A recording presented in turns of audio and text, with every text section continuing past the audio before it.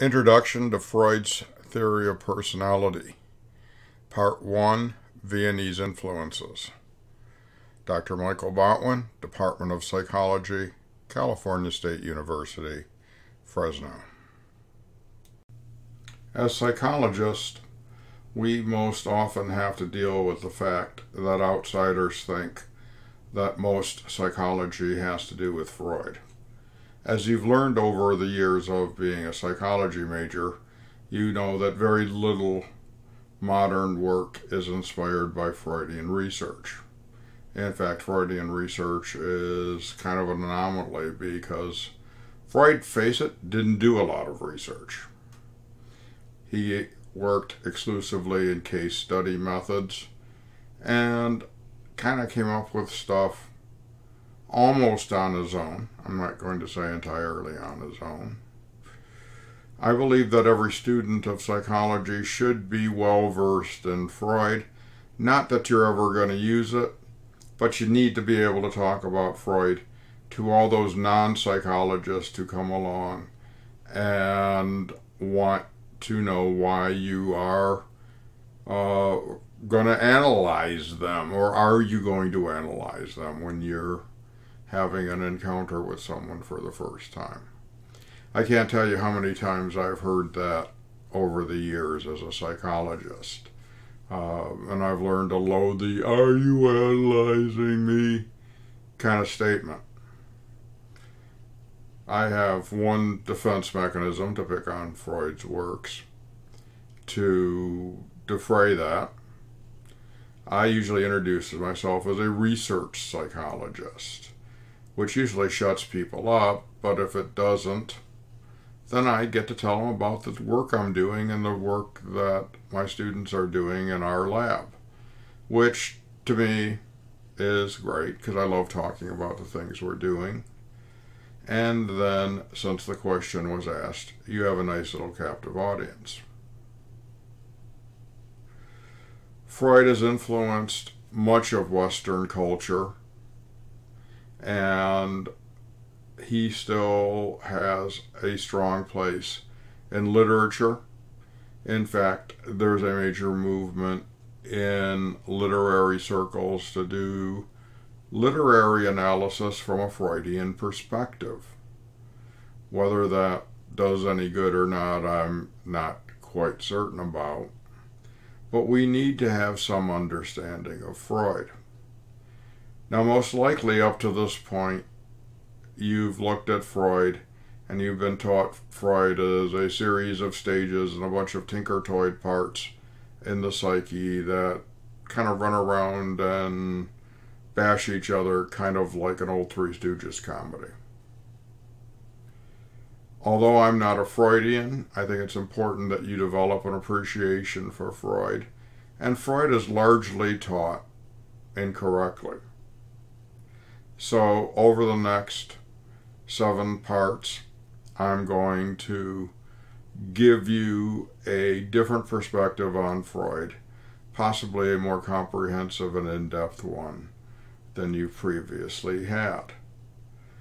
The first part of this discussion is going to take place around the work that Freud did in Vienna in the early 1900s and I'm primarily going to talk about what was going on in early 1900s Vienna, Austria. This is really important because a lot of the notions that Freud had were highly influenced by intellectual developments during that time and in that specific location. In fact, a lot of people have the misunderstood uh, idea that Freud sat around in a small room coming up with all of these weird ideas about sex and aggression. And frankly, he did come up with some weird ideas about sex and aggression, but he didn't do it in a vacuum. He did it in an intellectual environment that was blossoming in early 20th century Vienna. So the first part of our presentation, we're going to look at early modernist Vienna, and then we're going to look at some of Freud's early influences. Hope you enjoy. Eric Kandel is a Nobel Prize winning neuroscientist, and he's fascinated with the work of the Austrian painter Gustav Klimt. And he wrote a book recently called The Age of Insight.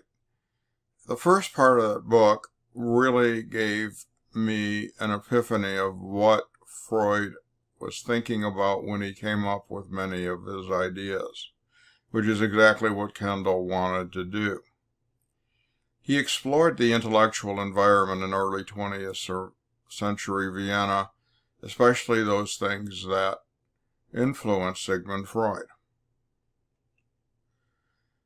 One of the things he discusses in his book is the relationship between art, the brain, and psychoanalysis. With commas, somehow those got missing there. And he makes these statements about Vienna circa 1900.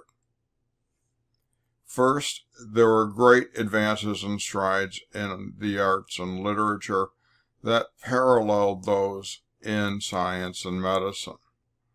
Uh, this is one of Klimt's paintings here. Actually, all of these are Klimt's paintings. This one is uh, of a woman that he calls Hygienia. And it was from something called the Beethoven Frieze, which uh, was in a Viennese medical school. However, it was thought to be too provocative by the conservative administrators of the institution, and unfortunately they painted it over. Uh, fortunately for us, some of the images still survive. The thing is, scientists and artists interacted freely during this time. Uh, as an academician, one of the things I lament is we kind of get stuck in what's been known as our silos. Uh, I'm in the psychology department silo. My colleagues in the art department are doing their things over there. And we're so busy we rarely ever get together. But there was a big social push for artists and scientists to hang out together during this time. Also, there was a great interest intellectually in human sexuality. Now, people have always been interested in sex. That's not a big deal. But people were trying to figure out sexuality, some exploring it through science, others through artistic expression, like Klimt. Here is a Klimt painting uh, that shows many, many things. Uh, highly sexual. This comes from the Beethoven frieze. Now, Kandel says that Viennese modernism was marked by three things. First of all, the mind was seen as an irrational structure. And there were unconscious conflicts that are present for everyone in everyday life. Now, when you think of Freud, you think of the unconscious and you think of conflicts. So this was a far more common thing than we usually think about. The conscious, unconscious, excuse me, also consist of erotic feelings and unconscious aggressive impulses, and how they were aimed at both the self and others. So you can see that this was a common thread running through Vienna, not just Freud's mind. Another one of the three characteristics of Viennese modernism was a quest for the rules that govern individuality. What makes me different than you? This is basically the substance of my field, personality psychology. Finally, uh, the third point is that Viennese modernists looked at outward appearances and how they were affected by inner private thoughts and feelings. And you can see where Freud got some of his influences from his ideas there, especially those about dreams.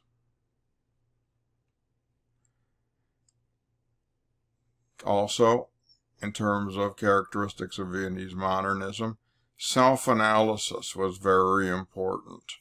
In fact, a keystone or hallmark of psychoanalysis is that a psychoanalyst has to be analyzed before they can analyze other people. So, to recap this, in modernist Vienna, there was an open dialogue between the biological sciences, psychology, literature, and art.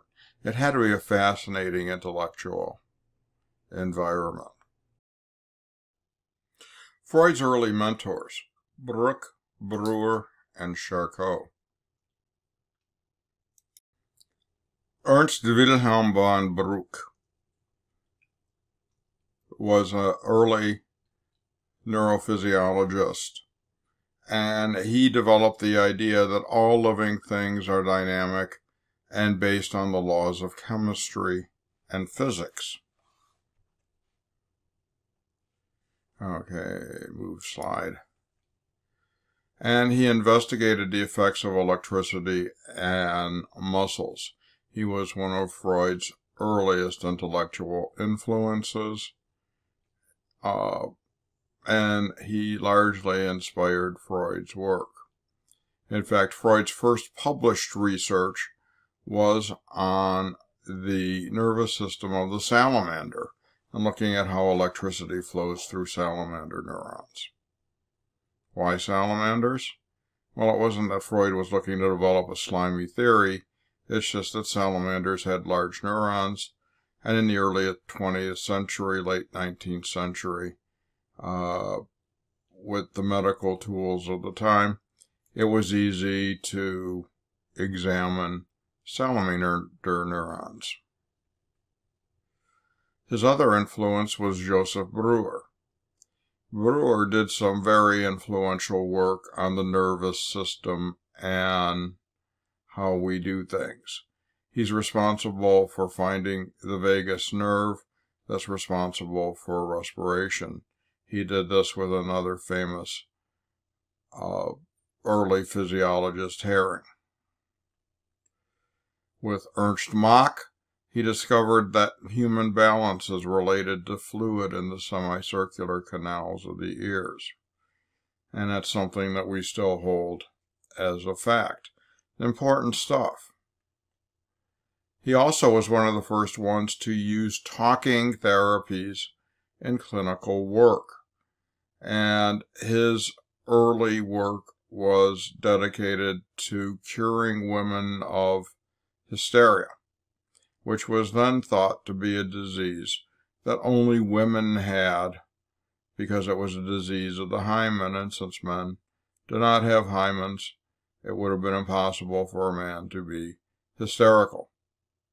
We've learned that one's false and he worked with Freud on one of the first published case studies on mental illness. Uh, the case, famous case of Anna O, who was a woman that had lots of clinical issues. Uh, her real name was Bertha Pappenheim, and she is the first woman to experience the use of what was to become psychoanalysis. It's a fascinating story, although she, uh, her problems go beyond the scope of our basic personality class. Freud, as you know, also worked with the Frenchman Charcot, and after spending some time in Vienna, which was his home base, he spent some time in France with Charcot. Now, Charcot was finding great success in studying women who were, as Charcot said, hysterical. Uh, this is a famous picture of Charcot treating a hysterical woman.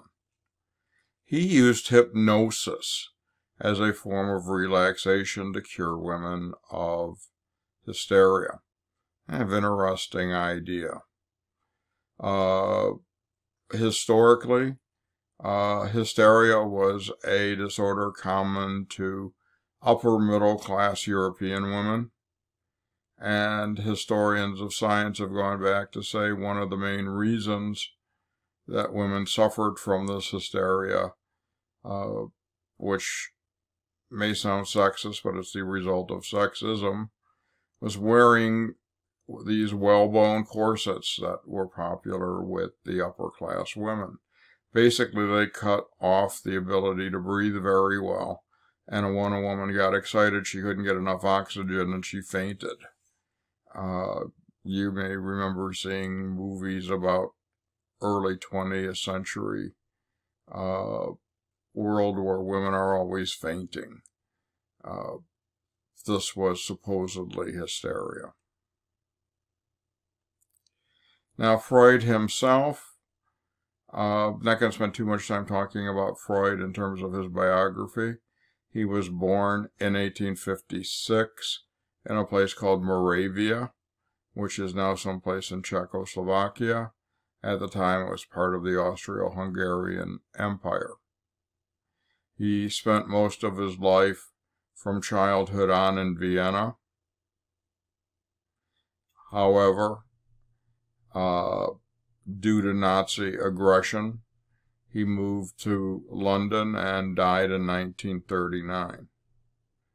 Now, to give Freud some credit, uh, Freud was going to stay and work against the Nazi regime. Uh, as you know, Freud was Jewish, and Freud didn't leave Vienna until the Nazis started threatening members of his family. And I guess it's one thing to deal with threats against your life. It's another thing to deal with threats against your family. Freud moved to London, uh, spent the last few years of his life in extreme pain. You all know the old notion about Freud that you rarely see him pictured without a cigar. One of his favorite statements on non-clinical things is, sometimes a cigar is just a cigar. But Freud also, early in his medical career, attempted to use cocaine as a tool for psychotherapy. After his closest colleague, Wilhelm Fliess, died of an overdose of cocaine, Freud discontinued the practice of using cocaine therapeutically. However, he did continue using it for personal use. Now, his favorite form of ingesting cocaine was to do it as a liquid. He mixed the powdered cocaine with a liquid, which wasn't illegal at the time, and would take what he called a cocaine cocktail. Uh, you can imagine the devastation uh, on his mouth and throat between the cigars and the effects of cocaine. Freud eventually developed cancer of the mouth. And he was in extreme pain during the last years of his life. Uh, his lower jaw was held to his face by a prosthesis. So, when a certain time came, he made an agreement with his medical doctor when he came to the pain that he could stand no more. Uh, his doctor would administer a massive dose of barbiturates and Freud would uh, go to sleep and not wake up, which is exactly what happened. Freud lived in what was the end of the Victorian era, and this comes out in his theories, uh, especially about men and women and family life. The father was essentially the master and commander of the family uh, the wife was second in charge and the children were all subservient. Uh, male domination comes up in his theories and was one of the primary things he was criticized for. So we have this Victorian era rigid structure, a lot of sexual repression, and it was a time where there was a lot of anti Semitism, even before the Nazis came around. In fact, Freud's earliest career aspirations was to be a university professor. However, there was a quota on university professors for Jews, and many young Jewish intellectuals went into medicine instead of academia because they couldn't deal with the prejudice against them in German universities, actually European universities. This uh, caused something to happen in the study of psychoanalysis that still exists to this day. If you are inclined to be a psychoanalyst, not only do you have to get your terminal academic degree in psychology or a related field, but then you need several years of training at a psychiatric institute, which typically are not ran by universities. Typically, these are standalone organizations. And to this day, there are still some of these centers to train psychoanalysts in LA, San Francisco, New York, London, and other places. So, this is the beginning. We've kind of set the stage, set the environment that Freud lived and worked in. Now let's start looking at some of his ideas.